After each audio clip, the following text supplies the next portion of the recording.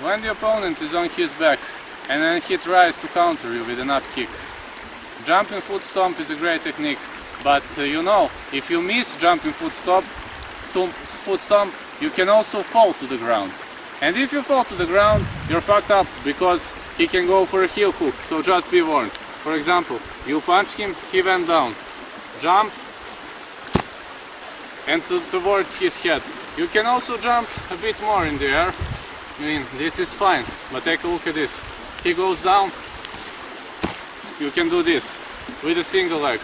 And yes, this is a good strike, but you must be warned. If you miss, he can easily catch your leg and uh, punish you with a heel hook, toe hold, or something like that. So imagine, you punch him, he goes down, and you can continue with regular foot stomps to finish him on the ground.